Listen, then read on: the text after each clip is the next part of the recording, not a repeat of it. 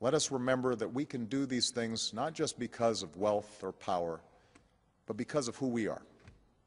One nation, under God, indivisible, with liberty and justice for all. Thank you. May God bless you.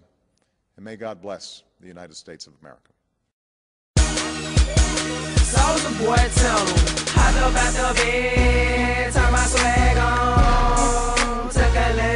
Mirror, said what's up, what's up, yeah, I'm getting money, oh, hop up out the bed.